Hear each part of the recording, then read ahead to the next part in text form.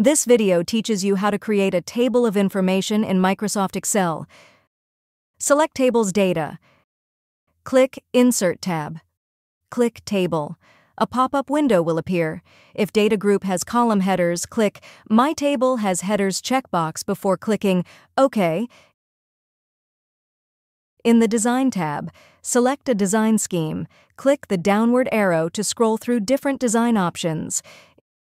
In the Table Style options, check or uncheck any of the following boxes. Header row. Uncheck this box to remove headers. Total row displays the total value of the rightmost column of the added bottom row. Banded rows.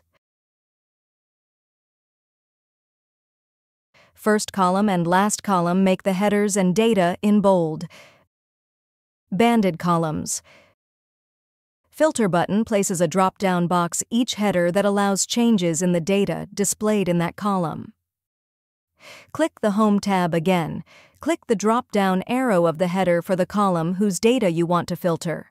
Click one of the following options in the drop-down menu. Click OK if prompted.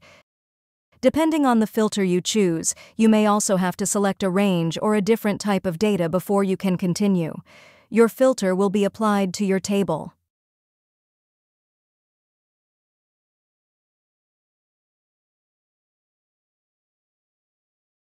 If you found this video helpful, kindly like and subscribe. You may also click and turn on the notification bell so you can be notified from whenever we release new videos.